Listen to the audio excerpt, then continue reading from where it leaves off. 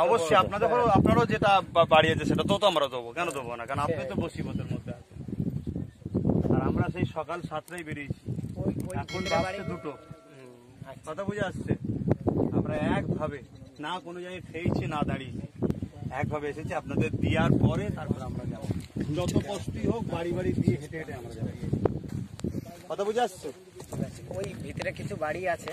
ওরা আসতে পারবে না কিন্তু সংবাদ দিলে আসে না কিন্তু এটা একটু ওইটা যদি যাবার রাস্তা থেকে বলেন আমরাই যাব। রাস্তা যদি পাঁচজন যে দিয়ে আসবে বাড়ি জানি না আমি ওখানে শুনতে হবে যে ওই বাঁধটা উপর দিয়ে যেতে দেয়। ওই বাড়িগুলো? ওই কটা বাড়ি আছে ওইখানটা বেশি বাড়ি কিন্তু সংবাদ দিলে কটা বাড়ি আছে ওখানে? ওখানে হয়তো আট দশটা বাড়ি আছে। মানে ওনারা বসবাস করছে কি? বাড়িতে তো এখন এখন পানি ঢুকে গেছে এখন ওই এখন বাড়িতে একটু এখন পাকা বাড়িটা কটা রয়েছে। আমরা অনেক আগিয়ে আসতাম। লকডাউন চলছে বুঝতেই তো পারছি হ্যাঁ সব জায়গায় আর আমাকে বহুত মানুষ ভালোবাসে। আমি এত বারণ করছি তাও দেখছেন দেখেছি না তো, পিছনে চলে আসছে আমরা দেখেছি তো। ও আমাকে দেখেছে নাকি? টিভিতে বলো এতে বলো আমরা দেখেছি। আচ্ছা যাই হোক। ভালো লাগল যাই হোক। তা সেই হিসাবে আমি লকডাউনের জন্য ওই জন্য আসতে পারি না আজকে তুলে দিয়েছে তাই বেশি। কারণ আমি যেখানেই যাব মানুষ ভিড় করবে শুধু বল- বারণ করল শুনছেন কি করব? কাগজ তাড়ানো যায়নি ভালোবাসায় ছুটে আসছে। তো যাই হোক তাহলে ওখানে কটা বাড়ি আছে বলুন? ওনারা যদি না আসতে পারে বলুন আমরা যেতে আসছি। যেটা বলবেন এক- একটুখানি আমি একটু সংবাদ নিয়ে আমি- তাহলে দেখুন। ভাই। আপনার নাম? আমার নাম সুকেন দাস। হ্যাঁ বাড়ি? খেজুরবেড়ে। এই জায়গাটার নাম কি? এটা বাইনাড়া গ্রাম। আপনার খেজুর বেড়ে আমাদের মেন আচ্ছা আচ্ছা। আপনার কেমন লাগছে? আমাদের ফুলফুরা দরবার শরীফ থেকে ভাইজান যে ভালো লাগছে আপনারা এসছেন। খুব গর্বের বিষয় নিয়ে এসছেন। এখানে এই পর্যন্ত এত মানুষ এরকম ভাবে আসেনি। হ্যাঁ না অবশ্যই কারণ এই জিনিসটা সবাই নিজের চোখে দেখা দরকার না যে ওই কীভাবে জন্য তো ভেঙেছে। আপনাদেরকে এখানে আজকে এই বাঁধটাকে ক্যামেরাম্যানদের বলব তোমরা আমাদের ঘরে না দেখে এইখানে পরিস্থিতিটাকে দেখাও। মানুষ জানুক যে এরা কি হালে আছে এরাও তো একটা মানুষ। আজকে কোনো জায়গায় একটা জীবজন্তু মারা গেলে দেশের নেতা মন্ত্রী বড় বড় ভিআইপিদের মাথা খারাপ হয়ে যায়। আজকের এখানে দুশো পরিবার বলছেন ওইদিকে দুশো সব মিলিয়ে প্রায় বারো তেরোশো জন বলল টোটাল আজকে বারো তেরোশো জন লোক এই পাড়ে বসবাস করছে। না তাদের এখানে কারেন্ট আছে না বিজলি আছে না খাবার আছে এত ভেতরে কেউ আসেনি। একদম ঠিক। আজকে ইনারা বলছেন ফুরফুরাশে হালে সন্ন্যতল জামাত যে আমরা এসেছি ভাইয়েরা ইনারা এত খুশি হয়েছে যে এত ভেতরে আমরা ঢুকেছি। তাহলে সেই জায়গায় এই জিনিসগুলো এই পরিস্থিতিগুলো মানুষকে জানা দরকার। তাই আপনারা যারা এসেছেন সবাইকে বলব যে এই টোটাল পরিবেশের দৃশ্যটাকে বেশি করে তুলুন। তুলে মানুষকে সজাগ করান এবং সরকারের কাছে অনুরোধ করুন এক হাজার কোটি টাকাতে হবে না। এখানে যে পরিস্থিতি এদের সমস্ত সমস্যার সমাধান করতে গেলে আরও বেশি তৈরি করতে হবে। একদম একদম। তবে এদের সমস্যার সমাধান হবে। আজকে আমরা ফুটপাশে আলো সুন্নত জামাতের মধ্যে থেকে এখানে যতগুলো বাড়ি আছে আমরা পাঁচ হাজারের মতো মানুষের খাবার নিয়ে এসেছি। সেই জায়গায় ভাইয়েরা এখানে দুশো বাড়ি বলছে ওইদিকে আরও মোট টোটাল বারোশো বাড়ি বলল। আমরা প্রত্যেক বাড়িতে কষ্ট করে হলেও আমরা নিজে হাতে গিয়ে দেবো। কথা বুঝছেন? আপনাদের মতামত আমরা নিজে হাতে সেইটাই ভালো আমাদের আমি একজন ধর্মগুরু ঘরের ছেলে স্বাধীনতা সংগ্রামী একদিকে আর একদিকে ধর্মগুরু সবাই এক বাক্যে জেনে গেছেন মুজব দাদা হুজুর। আমি যে নিজে হাতে আপনাদের ঘরে দিই অসুবিধা আছে? বাস বাস আমরা নিজে হাতে করে আপনার কোনো অসুবিধা আর আপনারা একটু তাহলে ওনাদের খবর দেন যদি ওনারা না আসতে পারে আমরা যাব। দাদা ওই ধারে কটা বাড়ি আছে?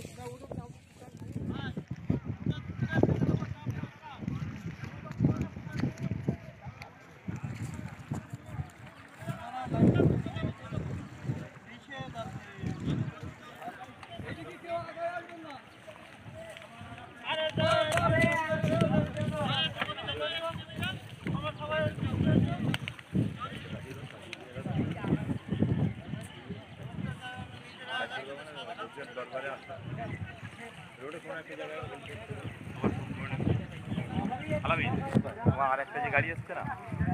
ওদেরকে ফোন করে বলে দাও।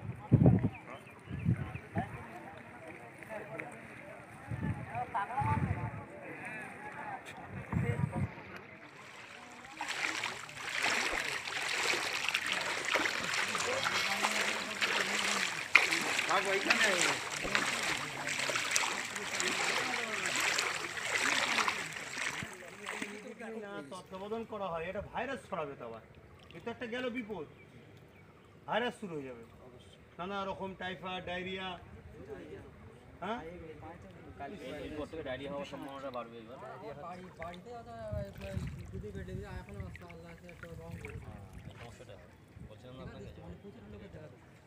আমি ওই জন্য ওইখানে সব ইয়ে দিলাম কি বলে গ্লুকোজ গ্লুকন দিলে কি?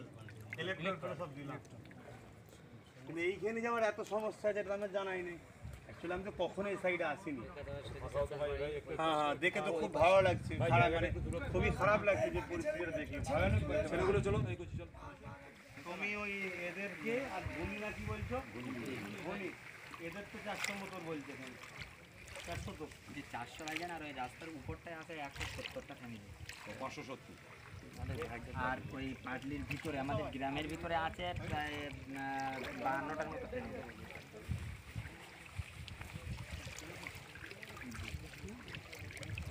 কত হচ্ছে? আর ওইখানে ধুনিতে কটা যা খোঁজ করো এই মালটা দুদিনের মধ্যে দিয়ে যাব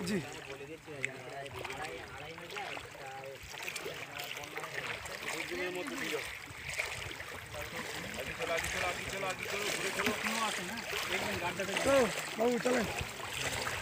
হ্যাঁ যোগাযোগ করে নম্বর দিন আমাদের সামনে আছে আশা করি মোল্লা ভাই থেকে সকাল থেকে আমাদের সফর সঙ্গী এবং তৃণমূল নেতৃত্বে এখানে আছে কালচুর এবং আছেন বাইজিদ আমিন ভাই সাহেব কুকুরজিদের ফাতিহ সাহেব।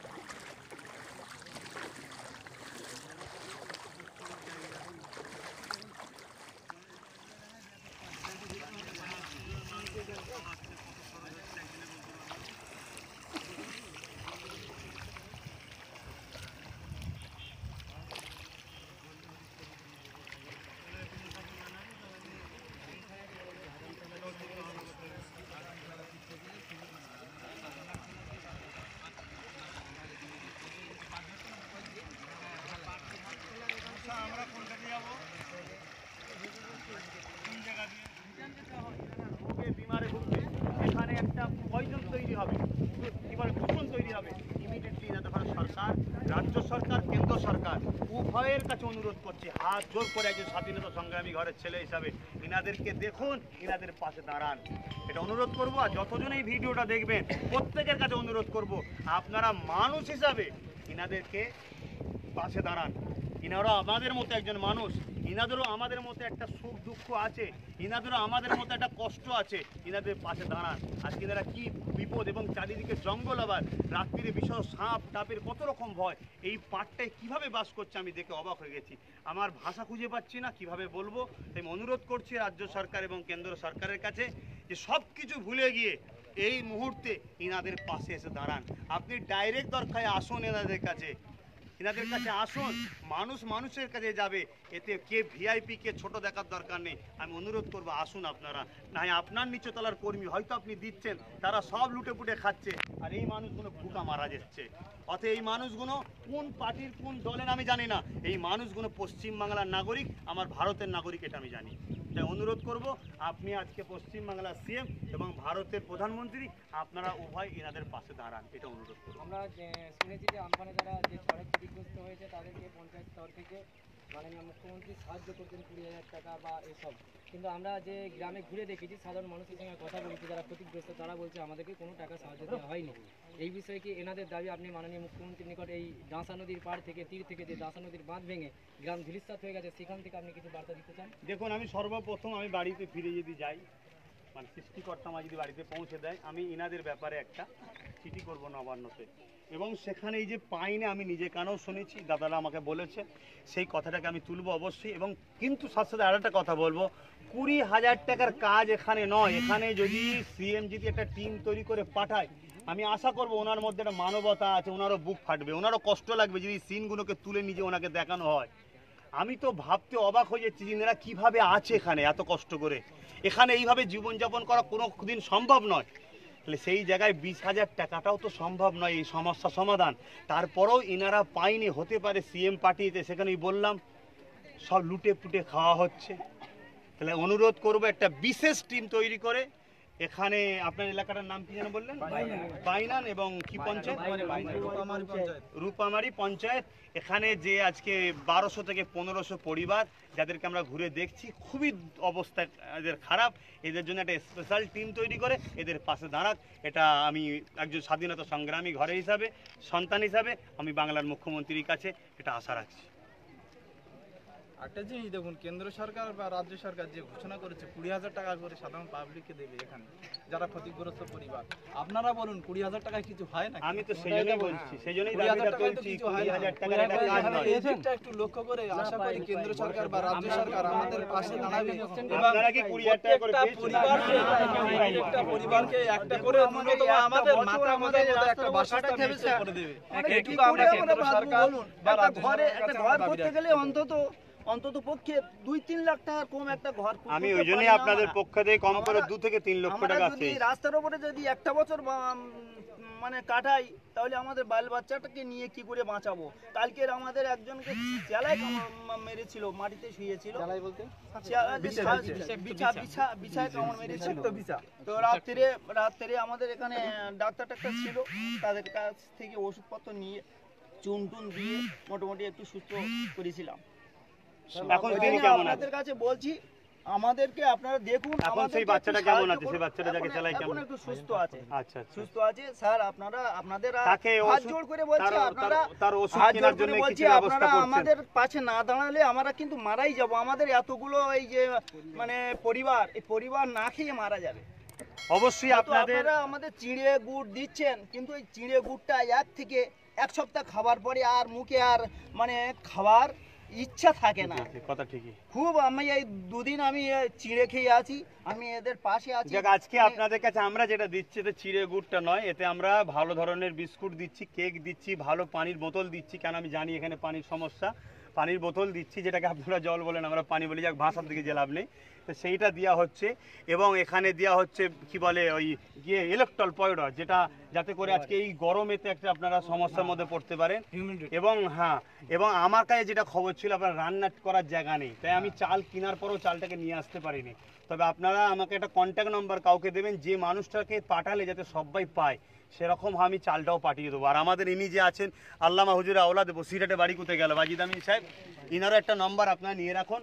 অবশ্যই আমরা যখন আপনাদের পাশে এসেছি, এই ব্যাপারটা নিয়ে সরকারের কাছে আমরা অনুরোধ করব। কারণ আমরা একজন সাধারণ আপনাদের মতো নাগরিক। কথা বুঝে আসছে? আমরা কোনো সরকারি পদে নেই। আমরা অরাজনৈতিক একটা স্বেচ্ছাসেবী সংগঠন চালাই। যেখানে মানুষের কোনো সময় শনিবার দিন আমরা ওই দিকে গিয়েছিলাম, দক্ষিণ চব্বিশ পরগনা গোসাব ওই দিয়ে গিয়েছিলাম। আজকে এখানে এসেছি। তো যাক, আপনাদের এই দুঃখের কথা অবশ্যই আমরা তুলে ধরবো। আর আমি আমার পক্ষ থেকে প্রত্যেকটা বাড়িতে এখানে যত বাড়ি আছে সে আমরা পাঁচ হাজার মতো বাড়ির জন্য খাবার নিয়ে এসেছি। এখানে শুনছি বারোশো আছে। যতগুলো বাড়ি আছে, সবার বাড়ি আমরা একটা করে খাবার দিচ্ছি। তাতে করে যাতে করে আপনারা দু পাঁচ দিন খাবারটা খেতে পারেন। তারপরও আমরা আরও সহযোগিতা করার জন্য আপনাদের কাছে চেষ্টা করব। আর তেরপোলও কিছু আছে যদি খুবই এমন মানুষের প্রয়োজন হয়, সেটাকে আমরা তাদের ঘরে তুলে দেওয়ার জন্য সেটাও নিয়ে এসেছি। আর যে কাউকে বিছে কামড়েছে বললেন, তার ওষুধ করার জন্য এটা আমি কারও একটা হাতে দায়িত্ব দিচ্ছি, তাকে একটু দেবেন। ওই যাকে বিছে তো বলছেন বিশেষ ক্ষতি হচ্ছে রাত্রে। রাত্রে আমাদের বাতি দেওয়া হচ্ছে। বাতি এই যে ঝড়ে প্রচণ্ড ঝড়ে আমরা সে বাতি জ্বালিয়ে তো থাকতে পারি না রাত্রে। সঙ্গে সঙ্গে নিভে যায়। আমাদের তার জন্য একটা আমাদের ব্যবস্থা করুন।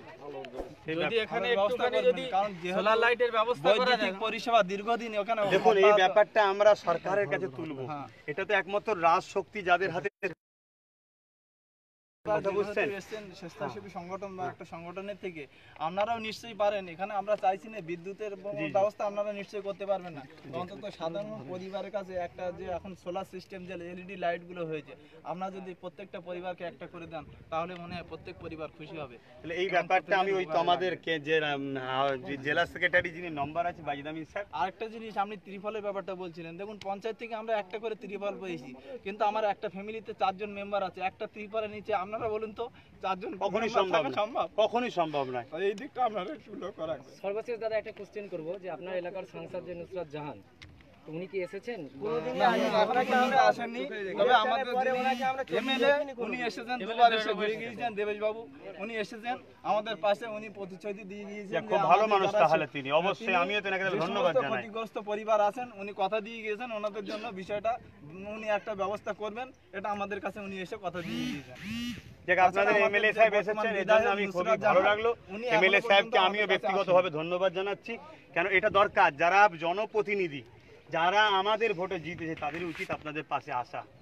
তো সেই জায়গাটা আমিও আশা দিয়ে যাচ্ছি আপনারা যে দাবিটা করেছেন এই ব্যাপারটা আমরা অবশ্যই তুলবো যেমন এবং নিজে থেকে যতটুকু করার আমরা করব। কেন? আমরা একটা অরাজনৈতিক সংগঠন। দেখুন এখানে রাজনৈতিক ভেদাভেদ সম্পূর্ণ ভুলে গিয়ে আপনারা নিশ্চয়ই আমাদের পাশে এসে অবশ্যই অবশ্যই। কেন? এটা হচ্ছে ক্যাপাসিটি। করতে পারার একটা সামর্থ্য থাকা দরকার। ঠিক না বেটি? সামর্থ্য অনুযায়ী। দেখুন একটা সাইক্লোন যখন আসে তখন কিন্তু রাজনীতি কে রাজনীতি করছে সেটা দেখে আসে না। প্রত্যেকটা মানুষ এখানে ধনী গরিব কাউকে দেখে কিন্তু আসে না। অবশ্যই, অবশ্যই। যখন আসে প্রত্যেকের ক্ষতি করে। এখানে আজকের হয়তো কেন্দ্র সরকার কিছু আবাস যোজনার মাধ্যমে সাধারণ মানুষকে ঘর দিয়েছেন। আজকের আপনারা বলুন তো এই বন্যা হওয়ার পরে সেই ঘরটা কি সুরক্ষিত আছে? না, না। নিশ্চয়ই নেই। তাহলে কেন্দ্র সরকার বা রাজ্য সরকারকে দ্বিতীয়বার ভাবা উচিত যে মানুষগুলো আজকের বন্যা ক্ষতিগ্রস্ত তাদেরকে পুনরায় আরেকটা করে ঘর দিয়ে সেই মানুষগুলোর পাশে দাঁড়ানো। এইটুকু আশা আমরা নিশ্চয়ই আমাদের গ্রামবাসীর তরফ থেকে কেন্দ্র সরকার প্রথম কথা হচ্ছে এই বাঁধগুলোকে তো আরও সুন্দরভাবে বাঁধানো দরকার। আপনাদের কাছে আশা রাখি। সব থেকে প্রথম এই বাঁধগুলোকে আরও সুন্দরভাবে বাঁধা দরকার। কেন ঘর দিয়ে সমাধান নেই।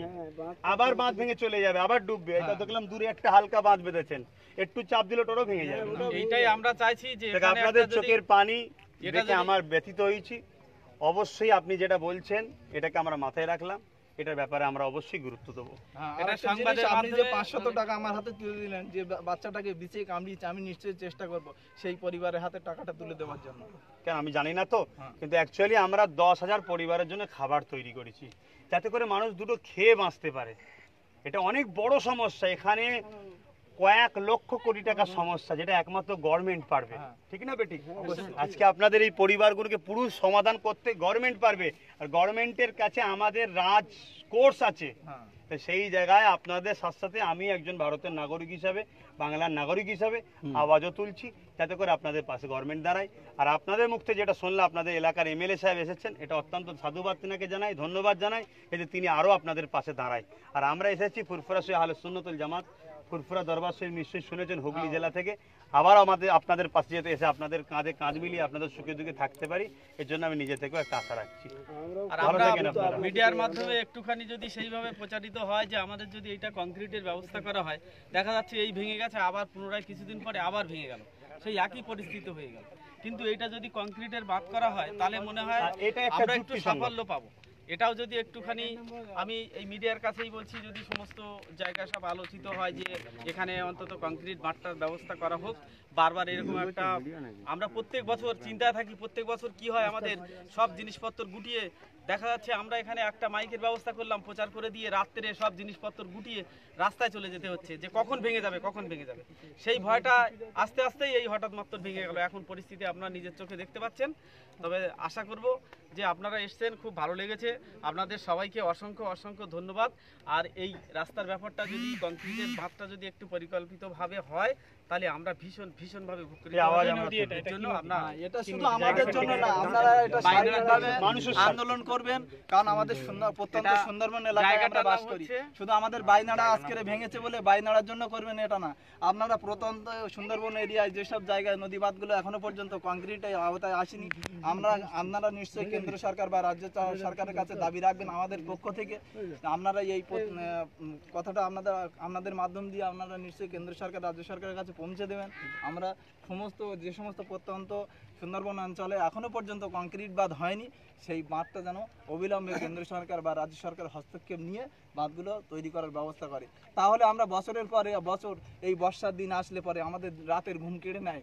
যে সমস্ত নদীমাতৃক এলাকায় আমরা বসবাস করি আমরা সেই মানুষগুলো সুরক্ষিতভাবে বাঁচতে পারব। এইটুকু আশা রেখে আপনাদের কাছে আমরা গ্রামবাসীদের তরফ থেকে আন্তরিক অভিনন্দন শ্রদ্ধা ভালোবাসা জানিয়ে আমরা এখানে আমাদের বক্তব্য শেষ করছি। যাক আপনাদের শেষ আশাটাও আমরা অবশ্যই আলোচনা করব তুলব এই আন্দোলনটা আমরা করব। আপনাদের ঘরেও সৃষ্টিকর্তা এই মুসিবত থেকে তাড়াতাড়ি উদ্ধার করুক এটাও কামনা করি।